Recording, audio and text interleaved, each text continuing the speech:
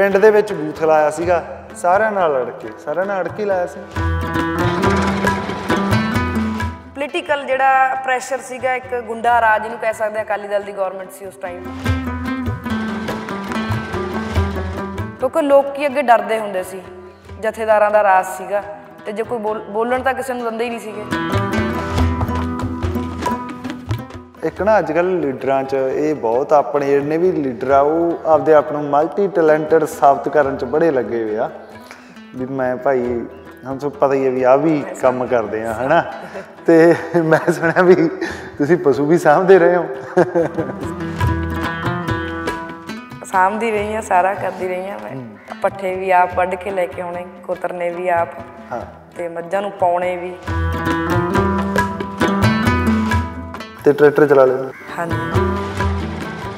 Tractor ਦਾ ਮੈਨੂੰ ਬੜਾ ਸ਼ੌਂਕ ਹੁੰਦਾ ਸੀ। ਜਦੋਂ ਮੈਨੂੰ ਪਤਾ ਚੱਲ ਜਾਣਾ ਵੀ ਜਾ ਰਹੇ ਨੇ ਵਾਹੁਣ ਦੇ ਲਈ ਖੇਤ ਕਰਦੇ ਸੀ ਜਦੋਂ ਤਾਂ ਮੈਂ ਮਗਰੇ ਚੱਲ ਜਾਣਾ ਉੱਥੇ। ਫਿਰ ਮੈਂ ਉਹਨਾਂ ਨੂੰ ਮੈਨੂੰ ਫੜਾ ਦਿੰਦੇ ਸੀ ਵੀ ਲੈ ਚੱਲ ਤੂੰ ਚਲਾ ਹੁਣ। ਆਮ ਆਦਮੀ ਪਾਰਟੀ 'ਚ ਜਿਹੜੇ ਬੰਦੇ ਪਹਿਲਾਂ ਸੀਗੇ ਜਿਹੜੇ ਜਿਤਾਏ ਸੀ ਉਹਨਾਂ ਦੀ ਪਰਫਾਰਮੈਂਸ ਉਸ ਤਰ੍ਹਾਂ ਦੀ ਨਹੀਂ ਰਹੀ। ਲੋਕ ਇਹ ਸਵਾਲ ਤਾਂ ਕਰਨਗੇ ਨਾ ਵੀ ਭਾਈ ਜਿਹੜੇ ਅਸੀਂ ਪਹਿਲਾਂ ਜਿਤਾਏ ਸੀਗੇ ਉਹਨਾਂ ਨੇ ਐਂ ਜੇ ਨਹੀਂ ਕਰਿਆ। ਮੈਂ ਆਪਣਾ ਵਿਸ਼ਵਾਸ ਦਵਾ ਸਕਦੀ ਆ ਹਾਂ। ਕਿ ਨਰਿੰਦਰ ਜਿੱਥੇ ਖੜੀ ਆ 8 ਸਾਲ ਤੋਂ ਖੜੀ ਆ ਤੇ ਲੋਕਾਂ ਦੇ ਵਿਸ਼ਵਾਸ ਤੇ ਖੜੀ ਆ। ਟੱਕਰ ਬਾਬਾ ਮਿਨਿਸਟਰ ਨਾਲ ਆ ਤੁਹਾਡੀ? ਨਹੀਂ ਮੇਰੀ ਕਿਸੇ ਮਿਨਿਸਟਰ ਨਾਲ ਟੱਕਰ ਨਹੀਂ ਹੈਗੀ। ਮੇਰੇ ਨਾਲ ਲੋਕ ਨੇ ਲੋਕਾਂ ਦੀ ਕਿਹਦੇ ਨਾਲ ਟੱਕਰ ਹੈ ਜਿਹੜੇ ਨਤੀਜੇ ਦੱਸਣ? ਤੁਸੀਂ ਪੋਲੀਟੀਕਲ ਹੋ ਗਏ। ਇਹ ਤਾਂ ਇਹ ਤਾਂ ਸਾਰੇ ਕਿਸੇ ਦੀ ਇੰਟਰਵਿਊ ਕਰ ਲਗੇ। ਆਹ ਗੱਲ ਤਾਂ ਹਰ ਇੱਕ ਕਹਿੰਦਾ ਵੀ ਮੇਰੇ ਨਾਲ ਲੋਕ ਆ ਜੀ ਲੋਕ ਆਮ ਆਦਮੀ ਪਾਰਟੀ ਦੇ ਜਿਹੜੇ ਵਰਕਰ ਨੇ, ਉਹਨਾਂ ਨੇ ਤਾਂ ਮੈਨੂੰ ਬੁਲਾਉਣਾ ਹੀ ਬੁਲਾਉਣਾ ਜਿੱਥੇ ਕਿਤੇ ਕੋਈ ਹੁੰਦਾ। ਖੁਦ ਮੇਰਾ ਕੌਨਫੀਡੈਂਸ ਜਿਹੜਾ ਹੌਸਲਾ ਵੱਧਦਾ, ਉਹ ਇੱਥੋਂ ਵੱਧਦਾ ਜਦੋਂ, ਕਿਉਂਕਿ ਮੈਨੂੰ ਫਿਰ ਵਰਕਰ ਫੋਨ ਕਰਦੇ ਨੇ ਵੀ ਸਾਡੇ ਪਿੰਡ ਦੇ ਕਾਲੀਆਂ ਨੇ ਕਿਹਾ ਕਿ ਫਲਾਣਾ ਮੁੱਦਾ ਤੁਸੀਂ ਉਹਨੂੰ ਕੁੜੀ ਨੂੰ ਬੁਲਾਓ। ਸਾਡੇ ਕਾਂਗਰਸੀਆਂ ਨੇ ਕਿਹਾ, ਯਾਰ ਅਸੀਂ ਤਾਂ ਕੁਝ ਕਹਿ ਹੀ ਨਹੀਂ ਸਕਦੇ, ਤੁਸੀਂ ਉਹਨੂੰ ਕੁੜੀ ਨੂੰ ਬੁਲਾਓ। ਜ਼ਿੰਦਗੀ ਸੰਭਾਵਨਾ ਦਾ ਨਾਮ ਆ, ਉਮੀਦ ਦਾ ਨਾਮ ਆ। ਰਾਜਨੀਤੀ ਵੀ ਉਸੇ ਤਰ੍ਹਾਂ ਦੀ ਹੁੰਦੀ ਆ। ਇੱਥੇ ਸੰਭਾਵਨਾ ਰੱਖ ਕੇ ਬੰਦਾ ਚੱਲਦਾ ਐਕਸਟ੍ਰੀਮ ਹੋਪ ਰੱਖ ਕੇ ਚੱਲਦਾ। ਤੇ ਅਸੀਂ ਦੇਖਦੇ ਹਾਂ ਵੀ ਬੰਦੇ ਆ ਜਿਹੜੇ ਉਹ ਬਿਲਕੁਲ ਹੀ ਇੱਕ ਨਵੀਂ ਥਾਂ ਤੇ ਪਹੁੰਚ ਜਾਂਦੇ ਆ। ਮੇਰੇ ਨਾਲ ਨਰਿੰਦਰ ਕੌਰ ਭਰਾਜ ਨੇ ਆਮ ਆਦਮੀ ਪਾਰਟੀ ਦੇ ਉਮੀਦਵਾਰ ਆ ਸੰਗਰੂਰ ਤੋਂ। ਪਿੰਡ ਦੇ ਵਿੱਚ ਬੂਥ ਲਾਇਆ ਸੀਗਾ ਸਾਰਿਆਂ ਨਾਲ ਲੜ ਕੇ ਸਾਰਿਆਂ ਨਾਲ ਅੜ ਕੇ ਲਾਇਆ ਸੀ ਨਾ? ਨਹੀਂ ਸਾਰਿਆਂ ਨਾਲ ਅੜ ਕੇ ਨਹੀਂ ਜਿਹੜੇ ਲੀਡਰ ਸੀਗੇ ਜਿਨ੍ਹਾਂ ਨੇ ਰੋਕਿਆ ਸੀਗਾ ਉਹਨਾਂ ਦੇ ਨਾਲ ਅੜ ਕੇ ਲਾਇਆ ਸੀਗਾ। ਅੱਛਾ ਚਲੋ ਲੀਡਰਾਂ ਨਾਲ ਅੜ ਕੇ ਲਾਇਆ ਸੀ। ਤੇ ਉੱਥੋਂ ਆਮ ਆਦਮੀ ਪਾਰਟੀ ਦੇ ਉਮੀਦਵਾਰ ਤੱਕ ਜੀ। ਕਿਵੇਂ ਰਿਹਾ ਸਫ਼ਰ? ਬਹੁਤ ਔਖਾ ਵੀ ਕਹਿ ਸਕਦੇ ਆ ਤੇ ਬਹੁਤ ਜਦੋਂ ਆਪਣੇ ਦਾ ਸਾਥ ਹੋਵੇ ਤਾਂ ਉਹਨੂੰ ਸੌਖਾ ਵੀ ਕਹਿ ਸਕਦੇ ਆ। ਇੱਕ ਬੂਥ ਲਾਉਣ ਦਾ ਸਫ਼ਰ ਜਿਵੇਂ ਤੁਸੀਂ ਕਿ ਅੜ ਕੇ ਲਾਇਆ ਤਾਂ ਅੜ ਕੇ ਮੈਂ ਪਿੰਡ ਦਿਆਂ ਕਰਕੇ ਨਹੀਂ ਸੀ ਲਾਇਆ ਕਿਉਂਕਿ ਪਿੰਡ ਦੇ ਤਾਂ ਤਿਆਰ ਸੀਗੇ ਬੂਥ ਲਾਉਣ ਨੂੰ। ਇੱਕ ਜਿਹੜੀ ਪੋਲੀਟੀਕਲ ਜਿਹੜਾ ਪ੍ਰੈਸ਼ਰ ਸੀਗਾ ਇੱਕ ਗੁੰਡਾ ਰਾਜ ਇਹਨੂੰ ਕਹਿ ਸਕਦੇ ਆ ਅਕਾਲੀ ਦਲ ਦੀ ਗਵਰਨਮੈਂਟ ਸੀ ਉਸ ਟਾਈਮ ਤਾਂ ਜਿਹੜੇ ਤਿਆਰ ਸੀਗੇ ਮੇਰੇ ਭਰਾ ਉਹਨਾਂ ਦੇ ਉੱਪਰ ਕਾਫੀ ਦਬਾਅ ਪਿਆ ਤੇ ਉਹਨਾਂ ਦੀ ਮਜਬੂਰੀ ਸੀ ਉਹ ਪਿੱਛੇ ਹਟ ਗਏ। ਤੇ ਮੈਂ ਕਦੇ ਕੋਈ ਕੰਮ ਕਰਨ ਲੱਗੇ ਕੁਝ ਸੋਚਿਆ ਨਹੀਂ ਹੈਗਾ। ਜੋ ਮੈਨੂੰ ਸਹੀ ਲੱਗਦਾ ਮੈਂ ਉਹ ਕੰਮ ਕਰ ਲੈਣੀ ਆ ਤੇ ਬੂਥ ਲਾਇਆ। ਬੂਥ ਤੋਂ ਬਾਅਦ ਲਗਾਤਾਰ ਮੈਂ 8 ਸਾਲ ਹੋ ਗਏ 2014 ਤੋਂ ਲੱਗੀ ਆ ਐਕਟਿਵਾ ਤੇ ਜਾਣਾ ਮੈਂ ਘਰੋਂ। ਸਾਡੇ ਨਾਲ ਹੀ ਟੋਲ ਪਲਾਜ਼ਾ ਆ ਜਾਂਦਾ 5 ਕਿਲੋਮੀਟਰ ਕਾਲਾ ਝਾੜ। ਉੱਥੇ ਐਕਟਿਵਾ ਖੜੀ ਕਰਨੀ। ਬਤੌਰ ਡਿਸਟ੍ਰਿਕਟ ਜਿਹੜਾ ਯੂਥ ਪ੍ਰੈਜ਼ੀਡੈਂਟ ਮੈਂ ਤੀਸਰੀ ਵਾਰ ਜਿਹੜਾ ਇਸ ਅਹੁਦੇ ਤੇ ਜਿਹੜਾ ਕੰਮ ਕਰ ਰਹੀ ਹਾਂ। ਤਾਂ ਮੈਂ ਡਿਸਟ੍ਰਿਕਟ ਚਲਾਇਆ ਮੈਂ ਜਾ ਕੇ ਜੁਆਇਨਿੰਗਸ ਕਰਾਉਂਦੀ ਸੀ। ਮੈਂ ਬੱਸ ਤੇ ਚੜ ਕੇ ਜਾਣਾ ਅੱਗੋਂ ਬੱਸ ਚੇਂਜ ਕਰ ਲੈਣੀ ਜਿਵੇਂ ਧੂਰੀ ਜਾਣਾ ਤਾਂ ਸੰਗਰੂਰ ਤੋਂ ਧੂਰੀ ਲਈ ਚੇਂਜ ਕਰ ਲੈਣੀ। ਉੱਥੋਂ ਗਾਹਾਂ ਜਿਹੜੇ ਯੂਥ ਦੀ ਸਾਡੀ ਟੀਮ ਹੁੰਦੀ ਸੀ ਕੋਈ ਨਾ ਕੋਈ ਅੱਗੇ ਜਿਹੜਾ ਪਿਕ ਕਰ ਲੈਂਦੇ ਸੀ। ਤੇ ਉਹ ਸਾਰੀਆਂ ਚੀਜ਼ਾਂ ਔਕੜਾਂ ਦਾ ਸਾਹਮਣਾ ਕੀਤਾ ਪਰ ਮੈਨੂੰ ਕਦੇ ਔਖਾ ਨਹੀਂ ਸੀ ਲੱਗਦਾ। ਕਿਉਂ? ਮਤਲਬ ਕੁਝ ਕਰਨ ਦਾ ਜਨੂਨ ਆ ਮੈਨੂੰ ਇਹ ਨਹੀਂ ਪਤਾ ਸੀ ਮੈਂ ਕਰਨਾ ਕੀ ਹੈ। ਪਰ ਅੰਦਰੋਂ ਸੀ ਵੀ ਕੁਝ ਕਰਨਾ ਹੈ। ਹਾਂ। ਕੁਝ ਕਰਨਾ ਹੈ। ਉਹ ਚੀਜ਼ ਸੀ ਜਿਹੜੀ ਮੈਨੂੰ ਨਾ ਤਾਂ ਸੌਣ ਦਿੰਦੀ ਸੀ ਹੂੰ। ਤੇ ਨਾ ਮੈਨੂੰ ਕਿਤੇ ਟਿਕਾਈ ਹੁੰਦੀ ਸੀ। ਮੈਂ ਕਿਸੇ ਕੰਮ ਨੂੰ ਚੱਲ ਜਾਂਦੀ ਪੜਨ ਜਾਣਾ ਮੈਂ ਉੱਥੋਂ ਫਟਾਫਟ ਆਪਣੀਆਂ ਕਲਾਸਾਂ ਕੰਪਲੀਟ ਕਰਕੇ ਘਰ ਨੂੰ ਭੱਜੇ ਆਉਣਾ। ਬਿਮਾਰ ਵੀ ਹੋ ਗਏ ਅੜਿਓ ਮੈਂ ਤਾਂ ਮੈਨੂੰ ਬਾਈ ਰਵੀ ਦੱਸਦੇ ਸੀਗੇ ਇੰਟਰਵਿਊ ਤੋਂ ਪਹਿਲਾਂ। ਹਾਂ ਮੈਨੂੰ ਹਾਰਟ ਦੀ ਪ੍ਰੋਬਲਮ ਸੀ ਬਾਈ ਬਰਥ ਸੀ। ਅੱਛਾ। ਤੇ ਹੋਲ ਸੀਗਾ ਉਹਦੇ ਕਰਕੇ ਹੁਣ ਮੇਰੀ ਦੋ ਆ ਫਰਵਰੀ ਦੇ ਵਿੱਚ 2 ਸਾਲ ਹੋ ਜਾਣੇ ਐਂਜੀਓਗ੍ਰਾਫੀ ਜਿਹੜੀ ਪੀਜੀਆਈ ਚੰਡੀਗੜ੍ਹ ਤੋਂ ਮੈਂ ਕਰਾਈ ਹੈ। ਅੱਛਾ। ਉਹ ਹਾਂ ਚ ਕੀ ਹੁੰਦਾ? ਪੀਡੀਏ ਕਲੋਜ਼ਰ ਸੀਗਾ ਉਹ ਚ ਮੇਰੇ ਜਿਹੜਾ ਹਾਰਟ ਸੀ ਬਲੱਡ ਜਿਹੜਾ ਫਿਲਟਰ ਹੋਣ ਤੋਂ ਬਾਅਦ ਜਿਹੜਾ ਬਲੱਡ ਮਿਕਸ ਹੋ ਜਾਂਦਾ ਸੀ ਜਿਹਦੇ ਕਰਕੇ ਮੇਰੀ ਇਮਿਊਨਿਟੀ ਜਿਹੜੀ ਵੀਕ ਰਹਿੰਦੀ ਸੀ। ਅੱਛਾ। ਤੇ ਇਮਿਊਨਿਟੀ ਵੀਕ ਰਹਿੰਦੀ ਸੀ ਬਿਮਾਰ ਰਹਿੰਦੀ ਸੀ ਮੈਂ। ਹਾਂ। ਤੇ ਉਹਦੇ ਬਾਵਜੂਦ ਮੈਂ ਮਤਲਬ 12 12 ਘੰਟੇ 14 14 ਘੰਟੇ ਮੈਂ ਜਿਹੜਾ ਕੰਮ ਕੀਤਾ। ਹੂੰ ਤੇ ਹੁਣ ਉਹ ਠੀਕ ਹੈ ਉਹਦਾ? ਹਾਂਜੀ ਹੁਣ ਠੀਕ ਹੈ। ਆ ਵੀ ਚੰਗਾ ਕਿਉਂਕਿ ਔਖਾ ਉਹਦੇ ਨਾਲ ਹਨਾ ਸਮੱਸਿਆ ਤਾਂ ਦੁੱਗਣੀ ਤਿੱਗਣੀ ਹੋ ਹੀ ਜਾਂਦੀ ਹੈ। ਬਿਲਕੁਲ ਬਹੁਤ ਸਾਰੀਆਂ ਦਿੱਕਤਾਂ ਸੀ। ਇੱਕ ਨਾ ਅੱਜ ਕੱਲ ਲੀਡਰਾਂ 'ਚ ਇਹ ਬਹੁਤ ਆਪਣੇ ਜਿਹੜੇ ਵੀ ਲੀਡਰ ਆ ਉਹ ਆਪਦੇ ਆਪ ਨੂੰ ਮਲਟੀ ਟੈਲੈਂਟਡ ਸਾਬਤ ਕਰਨ 'ਚ ਬੜੇ ਲੱਗੇ ਹੋਏ ਆ। ਵੀ ਮੈਂ ਭਾਈ ਹਮ ਸਭ ਪਤਾ ਹੀ ਹੈ ਵੀ ਆ ਵੀ ਕੰਮ ਕਰਦੇ ਆ ਹਨਾ? ਤੇ ਮੈਂ ਸੁਣਿਆ ਵੀ ਤੁਸੀਂ ਪਸ਼ੂ ਵੀ ਸਾਂਭਦੇ ਰਹੇ ਹੋ। ਸਾਂਭਦੀ ਰਹੀ ਆ ਸਾਰਾ ਕਰਦੀ ਰਹੀ ਆ ਮੈਂ। ਪੱਠੇ ਵੀ ਆਪ ਵੱਢ ਕੇ ਲੈ ਕੇ ਆਉਣੇ ਕੁਤਰਨੇ ਵੀ ਆਪ। ਹਾਂ। ਤੇ ਮੱਝਾਂ ਨੂੰ ਪਾਉਣੇ ਵੀ। ਹਾਂ। ਤੇ ਸਾਰਾ ਕੰਮ। ਕਿੰਨੀਆਂ ਮੱਝਾਂ ਹੁੰਦੀਆਂ ਸੀ? ਅ ਅਸੀਂ ਜਦੋਂ ਸਾਡੀ ਜੁਆਇੰਟ ਫੈਮਿਲੀ ਸੀ ਅੱਜ ਤੋਂ 12 ਸਾਲ ਪਹਿਲਾਂ ਹਾਂ। ਉਦੋਂ ਤੱਕ ਸਾਡੇ ਕੋਲ 100 ਸਵਾ 100 ਦੇ ਕਰੀਬ ਜਿਹੜਾ ਪਸ਼ੂ ਸੀਗੇ ਹਾਂ। ਵਿੱਚ ਮੱਝਾਂ ਛੋਟੇ ਕਟਰੂ ਬਛਰੂ ਲਾ ਕੇ ਸਾਰੇ। ਹਾਂ। ਤੇ ਬਾ- ਜਦੋਂ ਅਸੀਂ ਫਿਰ ਸੈਪਰੇਟ ਹੋ ਗਏ ਹਾਂ। ਉਸ ਤੋਂ ਬਾਅਦ ਅਸੀਂ ਮੈਂ ਦੋ ਹੀ ਰੱਖੀਆਂ। ਹਾਂ। ਕਿਉਂਕਿ ਮੇਰੇ ਫਾਦਰ ਸਾਹਿਬ ਉਹ ਬਿਮਾਰ ਰਹਿੰਦੇ ਸੀ ਤੇ ਉਹਨਾਂ ਤੋਂ ਇੰਨਾ ਕੰਮ ਨਹੀਂ ਸੀ ਹੁੰਦਾ। ਆ ਤੁਸੀਂ ਹੁਣੀ ਬਾਈ ਨੂੰ ਕਹੀ ਜਾਂਦੇ ਸੀਗੇ ਕਿੱਧਰ ਗਿਆ? ਮੈਂ ਤਾਂ ਤਾਂ ਆਸੇ-ਪਾਸੇ ਦੇਖਿਆ ਵੀ ਉਹ ਕਿਤੇ ਮੈਨੂੰ ਦੱਸ ਜੇ।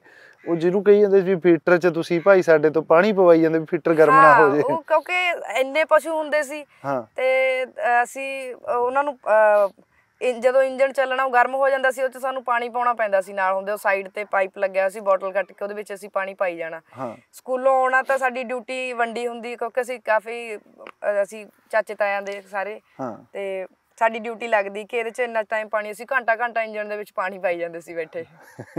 ਨਾਲ ਹੀ ਚਵੱਚਾ ਸੀ ਚਵ- ਚਵੱਚੇ ਤੋਂ ਬਾਲਟੀ ਭਰ ਕੇ ਲਿਆਉਣੀ ਹਾਂ। ਉਹਦੇ ਵਿੱਚ ਜਿਹੜਾ ਪਾਣੀ ਪਾਉਂਦੇ ਰਹਿੰਦੇ। ਸੀ ਆਮ ਆਦਮੀ ਪਾਰਟੀ 'ਚ ਕੀ ਹੋਪ ਲੱਗਦਾ ਇਸ ਸਮੇਂ? ਆਮ ਆਦਮੀ ਪਾਰਟੀ ਪੰਜਾਬ ਦਾ ਫਿਊਚਰ ਜਿਹਦੇ ਤੋਂ ਲੋਕ ਅੱਜ ਦੇਖ ਰਹੇ ਨੇ। ਹੂੰ। ਅ, ਉਮੀਦ ਇਸ ਕਰਕੇ ਆ ਕਿਉਂਕਿ ਦਿੱਲੀ ਦੇ ਵਿੱਚ 49 ਦਿਨ ਦੀ ਸਰਕਾਰ ਤੋਂ ਬਾਅਦ ਹੂੰ। ਤੀਸਰੀ ਵਾਰ ਸਰਕਾਰ ਬਣਾਉਣੀ ਤੇ ਇਹ ਗੱਲ ਕਹਿ ਕੇ ਬਣਾਉਣੀ ਕਿ ਜੇ ਮੈਂ ਕੁਝ ਕੀਤਾ ਤਾਂ ਮੈਨੂੰ ਵੋਟ ਪਾਇਓ ਜੇ ਮੈਂ ਕੰਮ ਨਹੀਂ ਕੀਤਾ ਤਾਂ ਮੈਨੂੰ ਵੋਟ ਨਾ ਪਾਇਓ। ਪੂਰੇ ਹਿੰਦੁਸਤਾਨ ਦੀ ਰਾਜਨੀਤੀ ਦੇ ਵਿੱਚ ਇਹ ਐਗਜ਼ਾਮਪਲ ਸਾਨੂੰ ਦੇਖਣ ਨੂੰ ਨਹੀਂ ਮਿਲਦੀ। ਉਹ ਕਹਿ ਕੇ ਉੱਥੇ ਜਿਹੜੇ ਕੰਮ ਜਿਹੜੇ ਕੀਤੇ ਗਏ ਆ ਉਹਨਾਂ ਚੀਜ਼ਾਂ ਨੂੰ ਅੱਜ ਪੰਜਾਬ ਦੇ ਲੋਕ ਜਿਹੜੇ ਚਾਹੁੰਦੇ ਆ ਵੀ ਸਾਡੇ ਵੀ ਕਿਉਂਕਿ ਸਾਡੀ ਐਜੂਕੇਸ਼ਨ ਸਾਡੀ ਹੈਲਥ ਦਾ ਅੱਜ ਜਿਹੜਾ ਦੋ ਸਾਡੀਆਂ ਜਿਹੜੀਆਂ ਬੇਸਿਕ ਜਿਹੜੀਆਂ ਸਾਡੀਆਂ ਜਿਹੜੀਆਂ ਨੀਡਸ ਨੇ ਉਹਨਾਂ ਦਾ ਜਿਹੜਾ ਪੱਠਾ ਬੈਠਿਆ ਪਿਆ। ਸੋ ਉਮੀਦ ਹੈ ਬਹੁਤ ਜ਼ਿਆਦਾ ਉਮੀਦ ਹੈ ਤੇ ਬੜੀ ਜਲਦੀ ਇਹ ਸਾਰੀਆਂ ਚੀਜ਼ਾਂ ਜਿਹੜੀਆਂ ਸੋਲਵ ਹੋਣਗੀਆਂ। ਹੂੰ। ਤੇ ਪੰਜਾਬ ਆ ਇੱਕ ਜਿਹੜੀ ਨਵੀਂ ਜਿਹੜੀ ਟੱਕਰ ਮੰਜ਼ਿਲ ਬਾਬਾ ਦੇ- ਮਿਨਿਸਟਰ ਨਾਲ ਆ ਤੁਹਾਡੀ? ਨਹੀਂ ਮੇਰੀ ਕਿਸੇ ਮਿਨਿਸਟਰ ਨਾਲ ਟੱਕਰ ਨਹੀਂ ਹੈਗੀ। ਹੂੰ।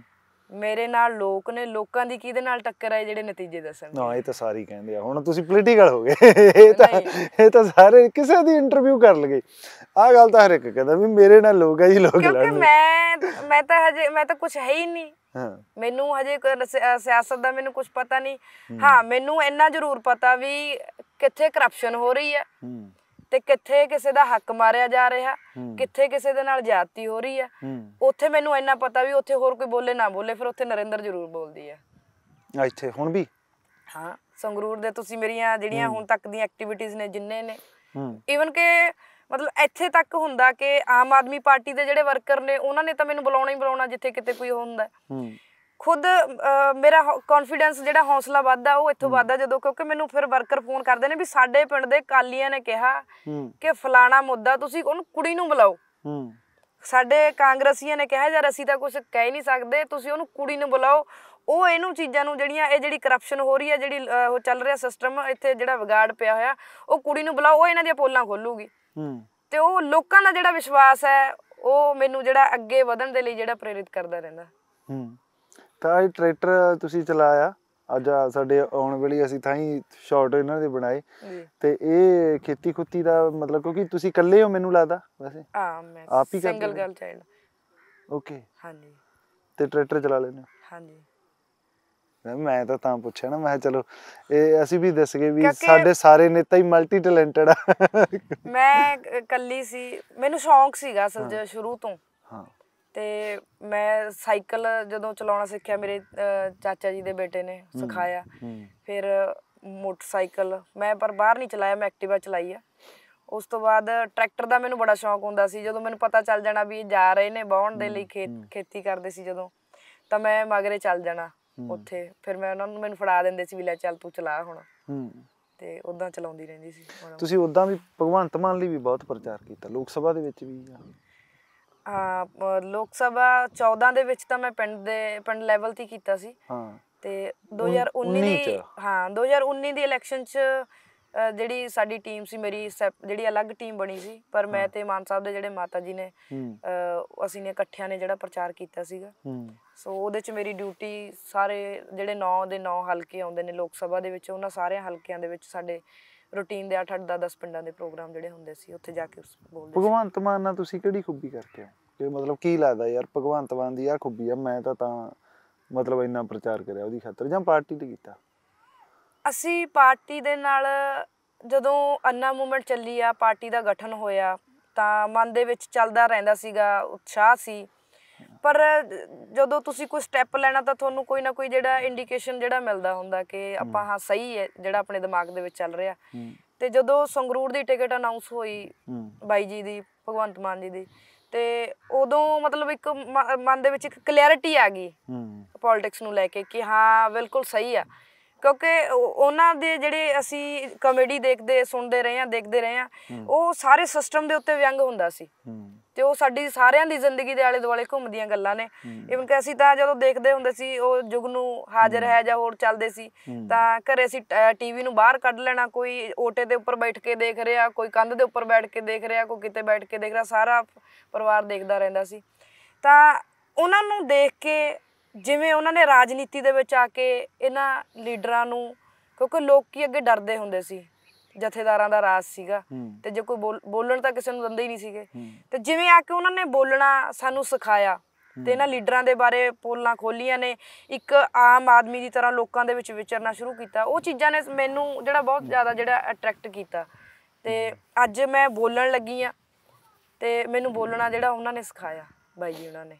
ਕਿ ਕਿਵੇਂ ਬੋਲਣਾ। ਮੈਨੂੰ ਹੀ ਨਹੀਂ ਪੂਰੇ ਪੰਜਾਬ ਦੇ ਵਿੱਚ ਬਹੁਤ ਸਾਰੇ ਮੁੰਡੇ ਕੁੜੀਆਂ ਨੇ ਜਿਹੜੇ ਯੂਥ ਜਿਹੜਾ ਅੱਜ ਰਾਜਨੀਤੀ ਦੇ ਵਿੱਚ ਹੈਗਾ ਉਹ ਉਹਨਾਂ ਦੀ ਜਿਹੜੀ ਬਦੌਲਤ ਆ ਉਹਨਾਂ ਆਮ ਆਦਮੀ ਪਾਰਟੀ ਤੇ ਨਾ ਇੱਕ ਸਵਾਲ ਕਰਦੇ ਆ ਹਨਾ? ਹੁਣ ਜਦੋਂ ਲੋਕ ਕਹਿ ਦਿੰਨੇ ਆ ਤਾਂ ਲੋਕ ਬੜਾ ਮੈਨੂੰ ਮੈਨੂੰ ਹਮੇਸ਼ਾ ਇਸ ਸ਼ਬਦ ਵਰਤਣ ਤੋਂ ਝਿਜਕ ਹੁੰਦੀ ਆ ਵੀ ਕੁਝ ਲੋਕ ਸਵਾਲ ਕਰਦੇ ਆ ਚਲੋ ਐਂ ਕਹਿ ਦਿੰਨਾ ਵੀ ਆਮ ਆਦਮੀ ਪਾਰਟੀ 'ਚ ਜਿਹੜੇ ਬੰਦੇ ਪਹਿਲਾਂ ਸੀਗੇ ਜਿਹੜੇ ਜਿਤਾਏ ਸੀ ਉਹਨਾਂ ਦੀ ਪਰਫਾਰਮੈਂਸ ਉਸ ਤਰ੍ਹਾਂ ਦੀ ਨਹੀਂ ਰਹੀ।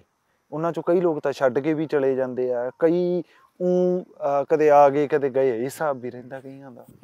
ਤਾਂ ਉਹ ਉਹਨੂੰ ਕਿਵੇਂ ਫੇਸ ਕਰੋਗੇ? ਮੰਨ ਲਓ ਲੋਕ ਇਹ ਸਵਾਲ ਤਾਂ ਕਰਨਗੇ ਨਾ ਵੀ ਭਾਈ ਜਿਹੜੇ ਅਸੀਂ ਪਹਿਲਾਂ ਜਿਤਾਏ ਸੀਗੇ ਉਹਨਾਂ ਨੇ ਐਂ ਜੇ ਨਹੀਂ ਕਰਿਆ।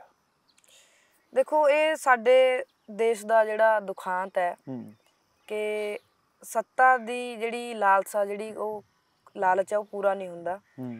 ਤੇ ਲੋਕ ਫੈਸਲੇ ਸਹੀ ਲੈਂਦੇ ਆ ਇਹ 'ਚ ਕੋਈ ਦੋ ਰਾਏ ਨਹੀਂ ਹੈਗੀ। ਪਰ ਇਹਦਾ ਕੋਈ ਪੈਰਾਮੀਟਰ ਨਹੀਂ ਹੈਗਾ ਕਿ ਬੰਦੇ ਨੂੰ ਕਿਹੜੇ ਪੈਰਾਮੀਟਰ ਦੇ ਵਿੱਚ ਦੀ ਉਹਨੂੰ ਲੰਘਾ ਕੇ ਜਿਹੜਾ ਚੈੱਕ ਕੀਤਾ ਜਾਵੇ ਕਿ ਇਹ ਬੰਦਾ ਕੱਲ ਨੂੰ ਖੜੂਗਾ ਜਾਂ ਨਹੀਂ ਖੜੂਗਾ। ਹੂੰ। ਹੁਣ 2017 ਦੇ ਵਿੱਚ ਜਿਨ੍ਹਾਂ ਨੂੰ ਟਿਕਟਾਂ ਦਿੱਤੀਆਂ ਸੀ ਸਾਰੇ ਆਮ ਘਰਾਂ ਦੇ ਜਿੱਤੇ ਸੀਗੇ ਜਿਹੜੇ ਦੂਸਰੇ ਸੀਗੇ ਦੂਜੀਆਂ ਪਾਰਟੀਆਂ ਤੋਂ ਆਏ ਹੋਏ ਸੀ ਉਹਨਾਂ ਚੋਂ ਇੱਕ ਇੱਕ ਦੋ- ਤਿੰਨ ਜਣੇ ਜਿਹੜੇ ਜਿੱਤੇ ਸੀਗੇ 20 ਦੇ ਵਿੱਚ ਤੁਸੀਂ ਦੇਖ ਲਓ।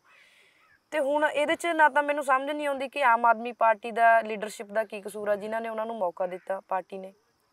ਤੇ ਉਹਨਾਂ ਲੋਕਾਂ ਦਾ ਕੀ ਕਸੂਰ ਆ ਜਿਨ੍ਹਾਂ ਨੇ ਉਹਨਾਂ ਨੂੰ ਚੁਣ ਕੇ ਭੇਜਿਆ। ਹੂੰ। ਹੁਣ ਇਹ ਸਮਝ ਤੋਂ ਪਰੇ ਆ ਕਿ ਉਦੋਂ ਕਿਉਂ ਪਾਰਟੀ ਚੰਗੀ ਲੱਗਦੀ ਸੀ? ਹੁਣ ਅਗਰ ਪਾਰਟੀ ਕਿਸੇ ਨੂੰ ਹੋਰ ਮੌਕਾ ਦੇ ਰਹੀ ਹੈ ਤਾਂ ਹੁਣ ਕਿਉਂ ਪਾਰਟੀ ਮਾੜੀ ਲੱਗਦੀ ਹੈ? ਹੂੰ।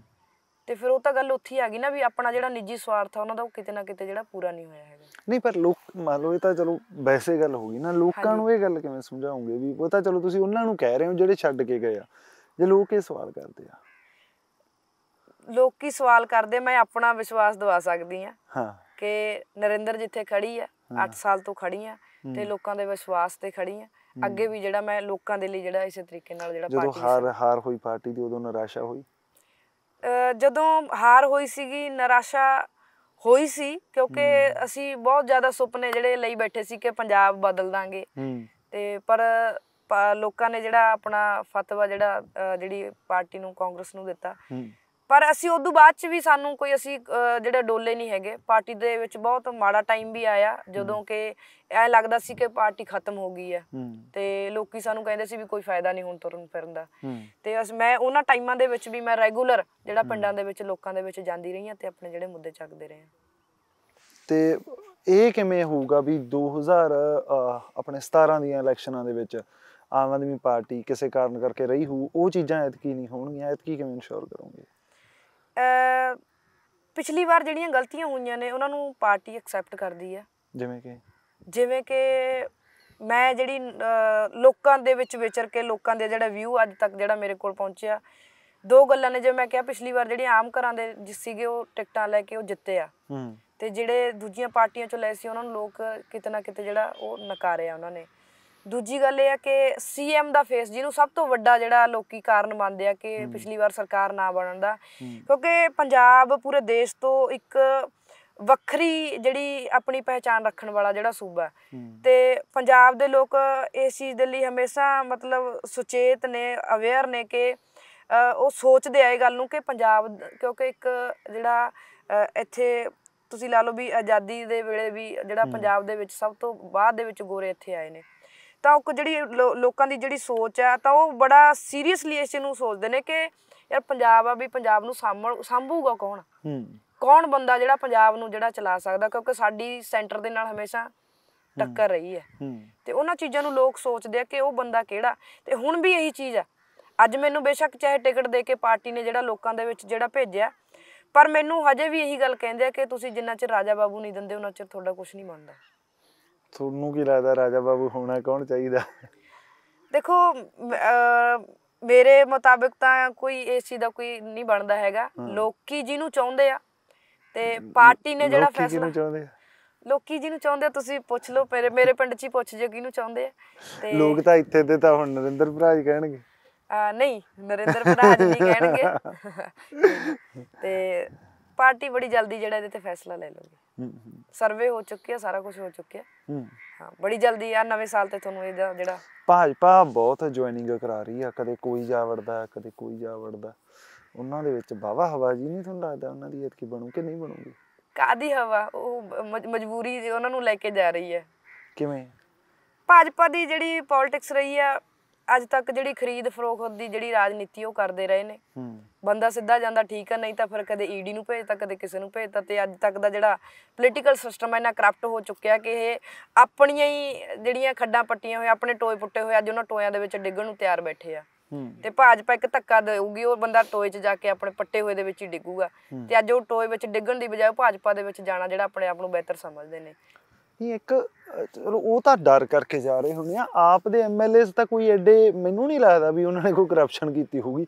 ਉਹ ਦੂਸਰੇ 'ਚ ਕਿਉਂ ਚਲੇ ਗਏ? ਇਹਦੇ ਕੀ ਕਾਰਨ ਰਹਿ ਗਏ ਮਤਲਬ? ਨਹੀਂ ਭਾਜਪਾ 'ਚ ਤਾਂ ਨਹੀਂ। ਨਹੀਂ ਭਾਜਪਾ 'ਚ ਨਹੀਂ। ਚਲੋ ਕਾਂਗਰਸ 'ਚ ਵੀ ਜਿਹੜੇ ਗਏ ਆ। ਮਤਲਬ ਆਪ ਦੇ ਬੰਦੇ ਜਿੰਨੇ ਕੁ ਵੀ ਸੀ ਸੀ ਤਾਂ ਉਹ ਨਾਰਮਲ ਹੀ ਤੇ ਜੇ ਤੁਸੀਂ ਕਹੋ ਵੀ ਕੋਈ ਐਂ ਤਾਂ ਨਹੀਂ ਵੀ ਉਹਨਾਂ ਕੋਲ ਬਾਹਲੇ ਤਗੜੇ ਮੰਤਰਾਲੇ ਆ ਗਏ ਸੀ ਤੇ ਜਾਂ ਉਹਨਾਂ ਨੇ ਕੋਈ ਈਡੀਆਂ ਦਾ ਡਰ ਸੀ। ਉਹ ਵੀ ਕਾਂਗਰਸ ਦੇ ਵਿੱਚ ਚਲੇ ਗਏ। ਉਹਨਾਂ ਦੇ ਕੀ ਰੀਜ਼ਨ ਰਹੇ ਹੋਣੇ? ਦੇਖੋ ਪਾਰਟੀ ਨੇ ਇਹਦੇ ਵਿੱਚ ਕੋਈ ਇਹ ਨਹੀਂ ਹੁੰਦਾ ਕਿ ਇੱਕ ਵਾਰੀ ਜਿਹਨੂੰ ਟਿਕਟ ਮਿਲ ਗਈ ਤੇ ਉਹਦੀ ਬੰਦੇ ਦੀ ਉਹ ਜ਼ਗੀਰ ਬਣ ਗਈ ਹੈ ਤੇ ਲਾਈਫ ਟਾਈਮ ਜਿਹੜਾ ਉਹ ਉਸੇ ਅਹੁਦੇ ਤੇ ਉਸੇ ਜਿਹੜੀ ਕੁਰਸੀ ਤੇ ਬੈਠ ਕੇ ਰਾਜਨੀਤੀ ਕਰੂਗਾ। ਪਾਰਟੀ ਨੇ ਮੌਕਾ ਦਿੱਤਾ ਤੁਹਾਨੂੰ ਪਹਿਚਾਣ ਦਿੱਤੀ ਹੈ ਤੇ ਤੁਸੀਂ ਲੋਕਾਂ ਦੀ ਸੇਵਾ ਕਰੋ। ਹੁਣ ਪਿਛਲੀ ਵਾਰ ਦਿੱਲੀ ਦੇ ਵਿੱਚ ਜਿਹੜੀਆਂ 23 ਟਿਕਟਾਂ ਕੱਟ ਕੇ ਨਵਿਆਂ ਨੂੰ ਦਿੱਤੀਆਂ ਸੀ ਤੇ ਉਹ ਸਾਰੀਆਂ ਸੀਟਾਂ ਜਿੱਤੀਆਂ ਨੇ। ਹੂੰ। ਤੇ ਇਸ ਵਾਰ ਪਾਰਟੀ ਨੇ ਸਰਵੇ ਕਰਾਏ ਨੇ ਜੇ ਬੰਦੇ ਦੀ ਕੋਈ ਜਿਹਨੂੰ ਲੋਕ ਨਹੀਂ ਪਸੰਦ ਕਰ ਰਹੇ ਜੇ ਪਾਰਟੀ ਉਹਦੇ ਉੱਪਰ ਕੁਝ ਕੋਈ ਵਿਚਾਰ ਕਰਦੀ ਹੈ ਤਾਂ ਇਹਦਾ ਮਤਲਬ ਇਹ ਥੋੜੀ ਹੈ ਵੀ ਤੁਹਾਨੂੰ ਜਿਹੜਾ ਮੌਕਾ ਦਿੱਤਾ ਤੁਸੀਂ ਉਹਨੂੰ ਵੀ ਜਿਹੜਾ ਖਤਮ ਕਰਕੇ ਤੁਸੀਂ ਦੂਜੀ ਪਾਰਟੀ ਦੇ ਵਿੱਚ ਚੱਲ ਜਾਓ। ਤਾਂ ਉਹ ਆਪਣਾ ਬੰਦੇ ਦਾ ਕੀ ਵਜੂਦ ਆ। ਨਹੀਂ ਉਹ ਤਾਂ ਕਈ ਤੁਹਾਡੇ ਐਮਐਲਏ ਕਹਿੰਦੇ ਵੀ ਵਿਕਾਸ ਆ ਜਿਹੜਾ ਉਹ ਕਹਿੰਦੇ ਸਾਨੂੰ ਹੁਣ ਪਤਾ ਲੱਗਿਆ ਵੀ ਉਹ ਸੱਤਾ ਨਾਲ ਜੁੜ ਕੇ ਹੋ ਸਕਦਾ ਇਲਾਕੇ ਦਾ। ਨਹੀਂ ਫਿਰ ਵਿਕਾਸ ਤਾਂ ਆਪੋਜੀਸ਼ਨ ਦੇ ਵਿੱਚ ਬੈਠਣ ਦਾ ਫਿਰ ਜਦੋਂ ਤੁਹਾਨੂੰ ਲੋਕਾਂ ਨੇ ਵਿਰੋਧੀ ਧਿਰ ਦਾ ਰੋਲ ਅਦਾ ਕਰਨ ਦੇ ਲਈ ਬਿਠਾਇਆ ਤਾਂ ਫਿਰ ਉਹ ਕੌਣ ਅਦਾ ਕਰੂਗਾ? ਫਿਰ ਤਾਂ ਸਾਰੀ ਚੱਲ ਕੇ ਉੱਠ ਕੇ ਫਿਰ ਤਾਂ ਖਤਮ ਹੀ ਹੋ ਜੇ ਫਿਰ ਤਾਂ ਜਿਹੜੇ ਦੂਜੇ ਨੇ ਉਹਨਾਂ ਨੂੰ ਰਿਜ਼ਾਈਨ ਦੇ ਕੇ ਘਰ ਬੈਠ ਜਾਣਾ ਚਾਹੀਦਾ ਤੇ ਜਿਹੜੀ ਸੱਤਾ ਦੇ ਵਿੱਚ ਬੈਠੇ ਨੇ ਕਿਹੜੇ ਵਿਕਾਸ ਦੀ ਗੱਲ ਕਰਦੇ ਨੇ? ਕਿਹੜਾ ਵਿਕਾਸ ਹੋਇਆ 4.5 ਸਾਲ ਦੇ ਵਿੱਚ? ਦੱਸੂਗਾ ਕੋਈ? ਮੈਨੂੰ ਚੰਨੀ ਸਾਹਿਬ ਨੇ ਅ, ਸਾਢੇ 4 ਸਾਲ ਕੈਪਟਨ ਅਮਰਿੰਦਰ ਨੇ ਜਿਹੜੇ ਇੰਨੇ ਨੇ ਵੱਡੇ ਵਾਅਦੇ ਕਰਕੇ ਸੌਹਾਂ ਖਾ ਕੇ ਅੱਜ ਉਹ ਬੰਦਾ ਮੁੱਕਰ ਗਿਆ ਤੇ ਅੱਜ ਕੁਰਸੀ ਦੇ ਲਾਂਬੇ ਕਰਤਾ। ਚੰਨੀ ਸਾਹਿਬ ਨੇ ਆਮ ਆਦਮੀ ਆਮ ਆਦਮੀ ਦਾ ਰਟਣ ਜਿਹੜਾ ਲਾਇਆ ਹੋਇਆ ਉਹਨਾਂ ਨੇ ਕੇਜਰੀਵਾਲ ਨੇ 49 ਦਿਨ ਦਾ ਟ੍ਰਾਇਲ ਦਿੱਤਾ ਸੀ ਤੇ ਤੀਜੀ ਵਾਰ ਸਰਕਾਰ ਬਣਾਈ ਬੈਠਾ। ਅੱਜ ਚੰਨੀ ਸਾਹਿਬ ਦੇ ਕੋਲ ਜਿਹੜਾ 60 ਦਿਨਾਂ ਤੋਂ ਉੱਪਰ ਦਾ ਸਮਾਂ ਹੋ ਗਿਆ ਤੇ ਅੱਜ ਇਹਨਾਂ ਨੇ ਕੀ ਕੀਤਾ? ਮੈਂ ਤਾਂ ਲੋਕਾਂ ਨੂੰ ਪੁੱਛਦੀ ਆ ਵੀ ਭਾਈ ਉਹ ਤੋਹਫੇ ਭੇਜੀ ਜਾਂਦੇ ਆ ਚੰਨੀ ਸਾਹਿਬ ਕੋਈ ਤੋਹਫਾ ਪਹੁੰਚਿਆ? ਹੂੰ। ਤੁਸੀਂ ਦੱਸ ਕਿਹੜਾ ਤੋਹਫਾ? ਚੰਨੀ ਸਾਹਿਬ ਤੋਹਫੀ ਐਲਾਨਦੇ ਆ। ਅੱਛਾ, ਪੰਜਾਬੀਆਂ ਲਈ ਬਹੁਤ। ਵੱਡਾ ਤੋਹਫਾ ਸਭ ਤੋਂ ਵੱਡਾ। ਤੋਹਫਾ ਪੰਜਾਬੀਆਂ ਲਈ। ਤੇ ਉਹ ਤੋਹਫੇ ਜਿਹੜੇ ਪ੍ਰੈਸ ਕਾਨਫਰੰਸਾਂ ਦੇ ਵਿੱਚ ਉਹ ਉੱਥੇ ਹੀ ਰਹਿ ਜਾਂਦੇ ਆ ਕਾਗਜ਼ਾਂ ਦੇ ਵਿੱਚ ਤੇ ਲੋਕਾਂ ਤੱਕ ਤਾਂ ਨਹੀਂ ਅੱਛਾ ਪਹੁੰਚਦੇ ਮੈਂ ਕਿਤੇ ਕੋਈ ਡੱਬਾ ਡੁੱਬਾ ਮੈਂ ਉਵੇਂ ਤੋਹਫਾ ਸਮਝ ਗਿਆ। ਤੁਸੀਂ ਜਿਵੇਂ ਦੀਵਾਲੀ ਤੇ ਮੀਡੀਆ ਦੇ ਵਿੱਚ ਹੀ ਚੱਲਦੀਆਂ ਨੇ ਗੱਲਾਂ ਸਾਰੀਆਂ। ਹਾਂ। ਨਹੀਂ ਨਹੀਂ ਮੀਡੀਆ 'ਚ ਤਾਂ ਬਹੁਤ ਕੁਝ ਚੱਲੀ ਜਾਂਦਾ। ਅਸੀਂ ਉਹ ਉਹਨਾਂ ਉਹਨਾਂ ਮੀਡੀਆ ਤੋਂ ਵੀ ਦੂਰ ਹੀ ਰਹਿੰਦੇ। ਸਭ ਤੋਂ ਪਹਿਲਾ ਤੋਹਫਾ ਸੀ ਜਿਵੇਂ ਬਿਜਲੀ ਦਾ। ਵੱਡਾ ਤੋਹਫਾ ਹੋਈ ਨਹੀਂ ਸਸਤੀ ਤੁਹਾਨੂੰ ਨਹੀਂ ਬਿੱਲ ਘੱਟ ਨਹੀਂ, ਕਿਹਨੂੰ ਆਇਆ ਘੱਟ? ਬਿਜਲੀ ਬੋਰਡ ਵਾਲੇ ਤਾਂ ਆਪ ਕਹੀ ਜਾਂਦੇ ਆ ਵਿਚਾਰੇ, ਕਹਿੰਦੇ ਸਾਨੂੰ ਅਜੇ ਤੱਕ ਕੋਈ ਲਿਖਤੀ ਕੋਈ ਆਰਡਰ ਨਹੀਂ ਆਏ ਹੈਗੇ ਕਿ ਬਿਜਲੀ ਸਸਤੀ ਕਰਨੀ ਹੈ ਤੇ ਤੋਹਫਾ ਉਹਨਾਂ ਤੱਕ ਪਹਿਲਾਂ ਉਹਨਾਂ ਨੂੰ ਆਊਗਾ ਨਾ, ਫਿਰ ਲੋਕਾਂ ਤੱਕ ਜਾਊਗਾ ਤੇ ਕਿਹਦੀ ਸਸਤੀ ਹੋਣੀ ਨਹੀਂ, ਉਹ ਤਾਂ ਕਹਿੰਦੇ ਮਾਫ, ਜੇ ਵੀ ਮਾਫ ਕਰਤੇ ਆ ਸੌਰੀ ਜਿਹੜੇ ਪਿਛਲੇ ਬਕਾਏ ਸੀ, ਬਕਾਏ। ਆਹ। ਬਕਾਏ ਮਾਫ ਹੋ ਗਏ। ਥੋੜਾ ਬਹੁਤਾ ਰੇਅਰ ਜਿਹੜਾ ਉਹਨਾਂ ਨੇ ਇੱਕ ਮਤਲਬ ਲੋਕਾਂ ਦੇ ਵਿੱਚ ਵੜਨ ਦੇ ਲਈ ਆਪਣਾ ਜਿਹੜਾ ਇੱਕ ਰਸਤਾ ਜਿਹੜਾ ਬਣਾਉਣ ਦੀ ਕੋਸ਼ਿਸ਼ ਕੀਤੀ ਆ ਕੰਮ ਕੋਈ ਨਹੀਂ ਕੀਤਾ ਹੈਗਾ। ਬਹੁਤ ਬਹੁਤ ਸ਼ੁਕਰੀਆ। ਧੰਨਵਾਦ ਸ਼ੁਭ ਕਾਮਨਾਵਾਂ ਤੁਹਾਨੂੰ ਤੁਹਾਡੀ ਸੀਟ ਵਾਸਤੇ। ਤਾਂ ਜੁੜੇ ਰਹੋ ਤੁਸੀਂ ਅੱਖਰ ਦੇ ਨਾਲ। ਬਹੁਤ ਸਾਰੇ ਹੋਰ ਰੰਗ ਇਸ ਸਿਲੈਕਸ਼ਨ ਦੇ ਤੁਹਾਡੇ ਸਾਹਮਣੇ ਲੈ ਕੇ ਆਉਂਦੇ ਰਹਾਂਗੇ। ਬਸ ਜੁੜੇ ਰਹੋ।